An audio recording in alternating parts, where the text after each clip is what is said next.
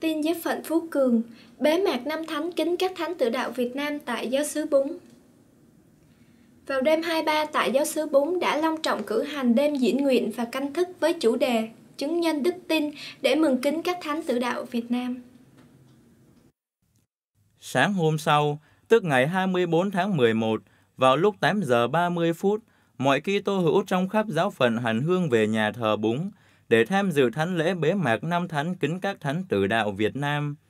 Từ sáng sớm, Cộng đoàn Dân Chúa trong giáo phận Phú Cường đã đến giáo xứ Búng, là quê hương của thánh tử đạo Phêrô Đoàn Công Quý, là một trong 117 vị thánh tử đạo Việt Nam. Trong ngày bế mạc năm thánh hôm nay, cũng có sự hiện diện của quý cha trong giáo phận. Thánh lễ bế mạc năm thánh được Đức cha Du Xe Nguyễn Tấn Tước chủ tế. Đồng tế với Ngài có quý linh mục trong giáo phận, trong thánh lễ có sự hiện diện của quý thầy sáu, quý thầy chúng sinh và sự hiện diện của hơn 2.000 giáo dân. Thánh lễ diễn ra trong bầu khí trang nghiêm và sốt sắng. Sau khi lãnh phép lành toàn xá cuối thánh lễ, Đức cha, quý cha cùng chụp chung tấm hình lưu niệm trước lễ đài.